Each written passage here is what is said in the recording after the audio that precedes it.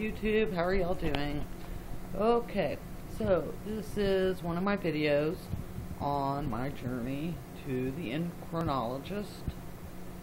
And so I'm going to be reading off of this paper. I looked up some more things for us. So today is Monday, July 29th. I have exactly 14 days to the endocrinologist. So, um, So there are many different symptoms being I have with my adrenal gland tumor. So I've went over some of the Cushing syndrome symptoms.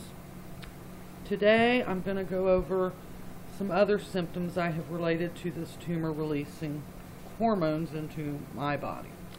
So common symptoms of pheochromatoma spelled P H E O C H R O M O C Y T O M A, if anybody wants to look that up. So just bear with me.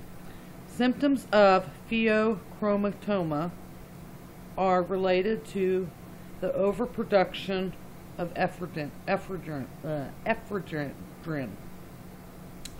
which sometimes I go into adrenaline, ephedrine ups where I just, I have insomnia. I can't sleep. I'm up half of the night.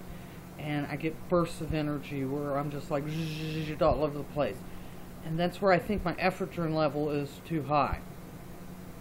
And then sometimes I crash and I'm way down low. Fatigue, sleep all day.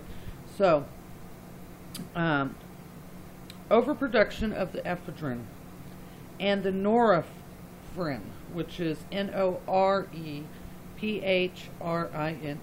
such as abdominal pain, I get anxiety, excessive perspiration, fatigue, headache, heart palpitations, high blood pressure relating to hypertension, um, pale skin or pallor, tremors, unexplained weight loss, and weakness, loss of strength.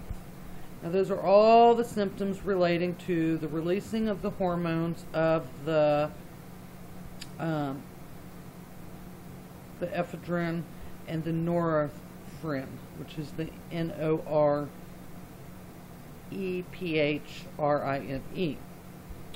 So.